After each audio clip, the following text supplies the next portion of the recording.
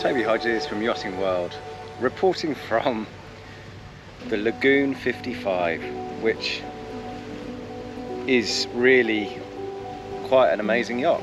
It just has so much space and potentially really so much comfort in so many different areas of the yacht. I'm gonna have to show you around this. We're sailing, we have been sailing, four knots of breeze. We have been matching almost three and a half knots, I think we'll be doing with the Code Zero. So the boat still moves, but the interesting part of this is Lagoon have not even put this yacht into production yet, and they have already sold 50, 5 0. So that's going to take production through for the next, they don't even start production until September next year. Anyway, have a look around here with on. This is the forward cockpit, which is a very, very pleasant place to be really and watch the world go by. Really nice feature to have comfortable sofa seating in this forward cockpit area. But this is just one of many. There are so many relaxation zones on this boat. It's pretty easy to tell why it's so popular. And this one up here is obviously the big draw. It's what catamarans this size tend to have now is a big flybridge with a lot of relaxation zone. Your traditional aft cockpit not exactly shorter space either. So this is the main access up onto the flybridge, which I think could do with a grab rail around this side, but look how much space you have up here. So this is Nikolai, the skipper, who has taken this first number one boat 6,000 miles now from France in the Mediterranean. And that's what Lagoon have done, you know, impressively well is to really use this as a prototype before they, and to, to do a lot of debugging before they actually put the boats into production, into full production. So the next boat, number two, will go to the US and number three to Asia. But production in terms of the industrial process will not start until September 2022. Anyway, enough of me blabbing on about that. Look at this. I mean, yeah, there's plenty of upholstery and lounging space on here, but um, yeah, a lot, a lot of relaxing space as well. So the nice thing is, from a sailing point of view, all your systems are up here. Come to three powered winches on this boat, uh, including the Code Zero sheets as well. So they are led from those turning blocks aft through the through those cheek blocks on there and then come to a powered winch each side and there's a powered furler on this code zero as well. So it really is push button affair getting the big sails out. And then all the helming side of it's done from this starboard side helm. With a large seat behind it they're going to increase this space you can get so you can walk around from this side as well. And there is an option uh, to have steps up from the starboard side as well so you don't have to just disappear around the port side and go all around the boat to get forward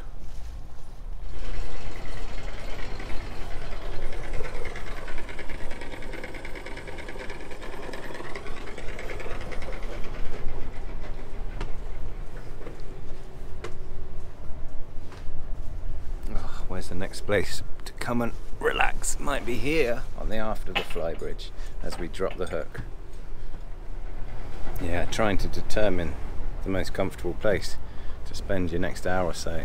It's the only real struggle here. Drinks fridge up here, you got the music on. Let's go and have a look at the next place.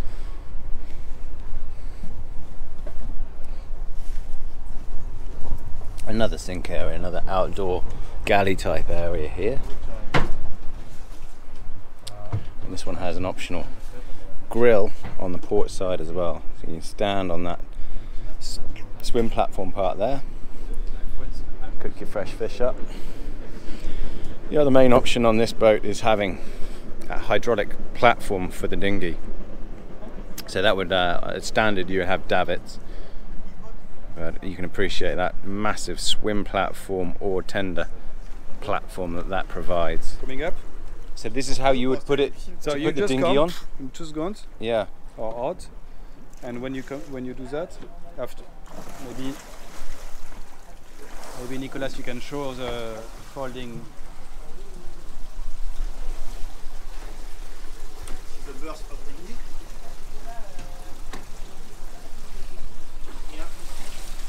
Fold. Done. Quite handy for scuba diving as well. You just sit on the back Yeah. platform and off you go. Yeah. Oh, it's like an extra. We've got the aft camera as we're coming into dock.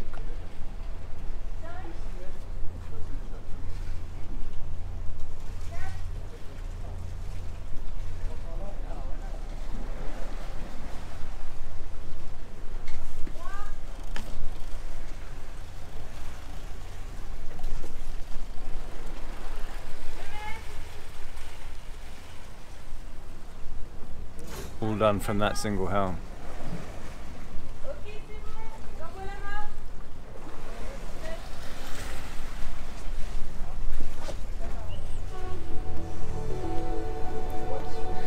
Pretty inviting saloon area as well.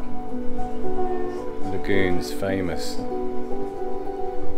vertical coach roof windows and the views they provide. It's just a sensational amount of space. So this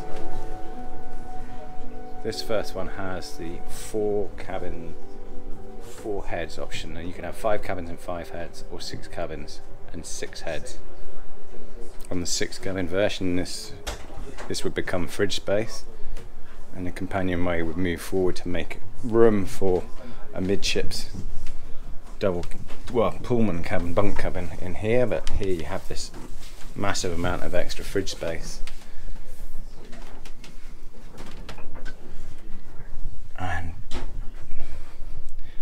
not a bad cabin to be a guest aboard just a sensational amount of beam and space in these aft cabins. Well, I debate all the cabins to be honest. Again, carpet. What a luxury. Not the most practical, but the interior design of this one in particular it's pretty amazing, really. There's no point in me even trying to show you all the stowage. There's so much stowage throughout this boat. It's uh, never really going to be an issue.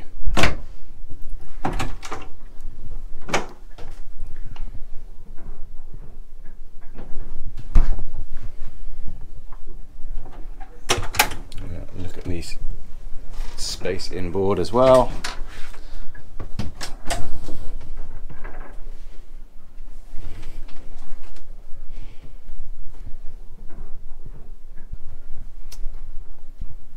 moving forward. Just so much stowage. Get these steps up each side of this thwartship's cabin. Yeah, there's no cheap seats. There's no cheap seats on this boat.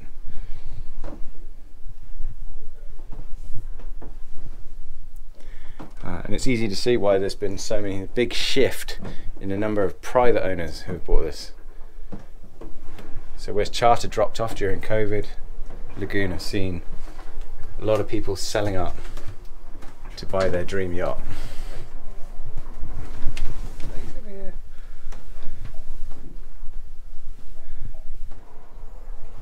And starboard companionway down here into the owner's cabin. And have a wee look at the amount of space in here.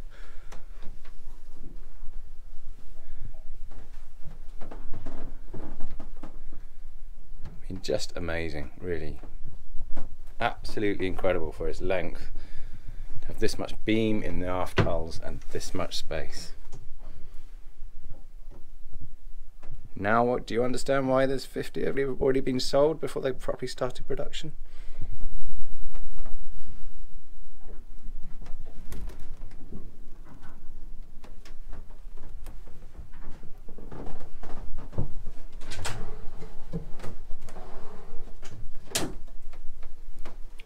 Just so much stowage. Say the majority. Look at this, it's got a walk-in shower. Amazing.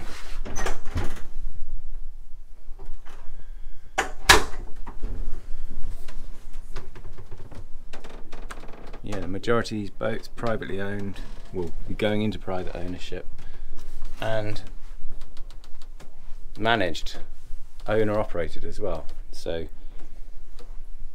not that many choosing the skipper's cabin option.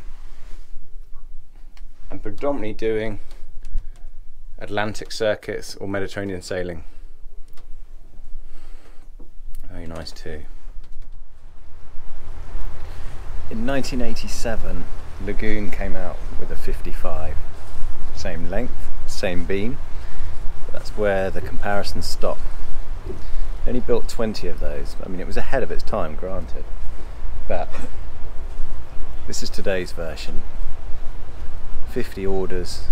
It's a, a yacht that starts at 1.14 million euros ex VAT.